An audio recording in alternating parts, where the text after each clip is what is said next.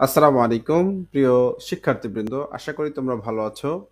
Iqbal Siddiqui school and college কর্তৃক আয়োজিত video ক্লাসে তোমাদের স্বাগত জানাচ্ছি আমি মোহাম্মদ আব্দুর রাজ্জাক, সহকারী শিক্ষক Iqbal Siddiqui school and college.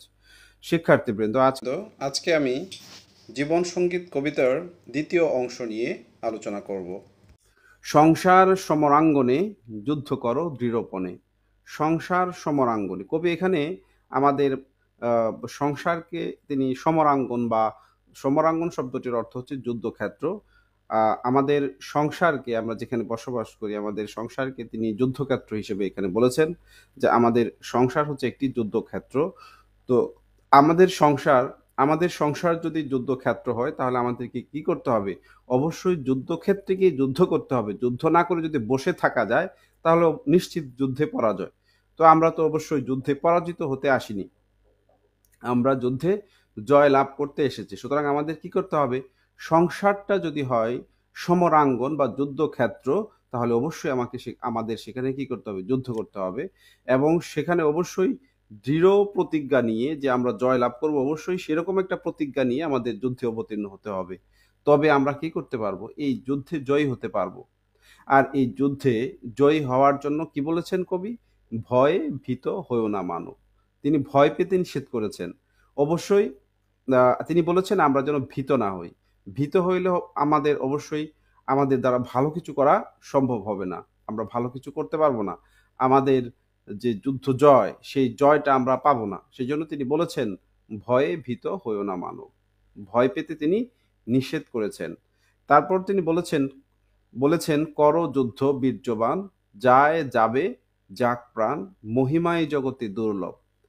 তিনি বলেছেন শক্তিমান বা সাহসী বীর যোদ্ধা হিসেবে আমাদেরকে সম্বোধন করে তিনি বলেছেন, যুদ্ধ করো। হে বীর, হে সাহসী, হে বীর্যবান, তুমি যুদ্ধ করো বা তোমরা যুদ্ধ করো। তাতে যদি তোমাদের জীবন চলে যায়, তোমাদের প্রাণ চলে যায়, তবে যাক। মহিমার তুলনায় এই পৃথিবীতে মহিমার তুলনায় প্রাণের মূল্য কম। তিনি বলেছেন মহিমায় জগতে দুর্লভ। এটি দুষ্প্রাপ্য। মহিমাটা কৃতিত্ব বা মহিমাটা দুর্লভ, এটা খুব সহজে পাওয়া যায় না। এটাকে পাওয়ার জন্য যদি প্রাণ দিতে হয়, তো সেই প্রাণ দেওয়ার জন্য বলেছেন। এই পৃথিবীতে বেঁচে থাকতে হলে মহিমা নিয়েই বেঁচে থাকতে হবে। তো সেই জন্য আমাদের কি করতে হবে? যুদ্ধ করতে হবে। মনোহর মূর্তি হেরে, ওহে জীব অন্ধকারে, ভবিষ্যতে করোনা নির্ভর। কবি এখানে বলেছেন, মনোহর, মনোরম, মূর্তি হেরে হেরে শব্দের অর্থ হচ্ছে মনে করে, ওহে জীব, অন্ধকারে মানে অন্ধকারের মধ্যে, অন্ধকারে ভবিষ্যতে করোনা নির্ভর। ভবিষ্যৎকে তিনি অন্ধকার হিসেবে কল্পনা করেছেন। ভবিষ্যতে কোনো কিছু করব, ভবিষ্যতে আমি ভালো কিছু করব, ভবিষ্যতে আমি অনেক কিছু করব, এরকম চিন্তা করে যেন আমরা ভবিষ্যতের উপরে যেন আমরা নির্ভরশীল না হই, তিনি এই কথাটি এই চরণগুলোতে বলেছেন। অতীত সুখের দিন পুনঃ ডেকে এনে চিন্তা করে হয়েও না কাতর। অতীত অনেক ভালো ছিল অতীত অনেক সুখের ছিল। এরকম কথা না বলে অতীতের কথা না ভেবে বা অতীতের কথা ভেবে কাতর না হওয়ার জন্য তিনি আহ্বান করেছেন। এই কবিতার মাধ্যমে। জীবন সংগীত কবিতার মাধ্যমে তিনি অতীতকে ভুলে যেতে বলেছেন, অতীতকে পুনরায় ডেকে না আনতে বলেছেন অতীতকে ডেকে ডেকে যেন আমরা কাতর না হই, হয়রান যেন না হই, সেজন্য তিনি আহ্বান করেছেন। মহাজ্ঞানী মহাজন যে পথে করে গমন হয়েছেন প্রাতঃস্মরণীয়, সেই পথ লক্ষ্য করে স্বীয় কীর্তি ধ্বজা ধরে আমরাও হব বরণীয়। এখানে বলেছেন মহাজ্ঞানী মহাজন, যারা এই পৃথিবীতে মহাব্যক্তিত্ব বা মহাজ্ঞানী যারা স্মরণীয় হয়ে আছেন, যারা বরণী- বরণীয় হয়ে আছেন, যাদেরকে আমরা আজকে স্মরণ করি, যাদেরকে আমরা আজকে মনে রেখেছি, তারা যেসব কাজ করে এই পৃথিবীতে মহাজ্ঞানী হয়েছেন, মহাজন হয়েছেন, তারা যেসব কাজ করে এগুলো হয়েছেন, জ্ঞানী হয়েছেন, মহাজন হয়েছেন, আমরা যদি এখন তাদের মতো করেই ভালো কাজ করি, নিজেকে ভালো কাজে নিয়োজিত করি, তাহলে কিন্তু আমরাও তাদের মতো কি হতে পারব? প্রাতঃস্মরণীয় প্রাতঃস্মরণীয় এই শব্দটির অর্থ হচ্ছে সকালবেলায় স্মরণ করার যোগ্য অর্থাৎ সকলের শ্রদ্ধা ও সম্মানের পাত্র। তো এরকমভাবে মহাজ্ঞানী ও মহাজন তারা ভালো কাজ করে যেমন সকলের স্মরণীয়, বরণীয় হয়েছেন। আমরাও যদি তাদের মতো করে কাজ করি, তাহলে আমরাও কি হতে পারব? তাদের মতো স্মরণীয় এবং বরণীয় বা প্রাতঃস্মরণীয় হতে পারব। সেই জন্য বলেছেন, সেই পথ সেই জন্য কবি বলেছেন, সেই পথ লক্ষ্য করে স্বীয় কীর্তি ধ্বজা ধরে আমরাও হব বরণীয়। তারা যেসব কাজ করে, এই পৃথিবীতে স্মরণীয় হয়েছেন, বরণীয় হয়েছেন, আমরাও তাদের মতো সেই কাজ করে, ভালো কাজ করে স্মরণীয়, বরণীয় হব। ইনশাল্লাহ সমর সাগর তীরে পদাঙ্ক অঙ্কিত করে আমরাও হব হে অমর। যারা জ্ঞানী, যারা মহাজ্ঞানী, যারা সাধক, যারা ভালো কাজ করে এই পৃথিবীতে, যারা প্রাথস্মরণীয় হয়ে আছেন, আমরাও যদি তাদের মতো করে কাজ করি, সমর সাগর তীরে পদাঙ্ক অঙ্কিত করে আমরাও হব হে অমর। এই যে পদাঙ্ক পদাঙ্ক শব্দটির অর্থ হচ্ছে পদচিহ্ন, অঙ্কিত শব্দের অর্থ হচ্ছে আঁকা। তো এই সমর মানে যুদ্ধক্ষেত্রে সাগর, সমুদ্র তীরে এই এই পৃথিবীতে অর্থাৎ সমর সাগর তীরে মানে এই পৃথিবীতে আমরা ভালো কাজ করে আমাদের পদচিহ্ন এই পৃথিবীতে রেখে যাব।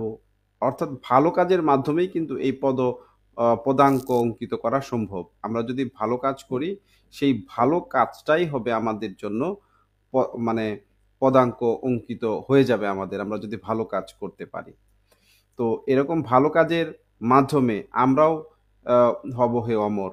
যারা ইতিপূর্বে অতীতে ভালো কাজ করে অমর হয়েছেন, আমরাও যদি ভালো কাজ করি, আমরাও তাদের মতো কি হতে পারব? অমর হতে পারব। সেই চিহ্ন লক্ষ্য করে অন্য কোনো জন পরে যশোদারে আসিবে সত্তর। যশোদারে এই শব্দটির অর্থ হচ্ছে যে জয়ের কাছাকাছি বা সাফল্যের কাছাকাছি অচিরেই আসা সম্ভব হবে। সেই জন্য কবি এই কবিতার লাইনগুলোতে বলেছেন, সেই চিহ্ন লক্ষ্য করে অন্য কোনো জন পরে যশোদারে আসিবে সত্তর।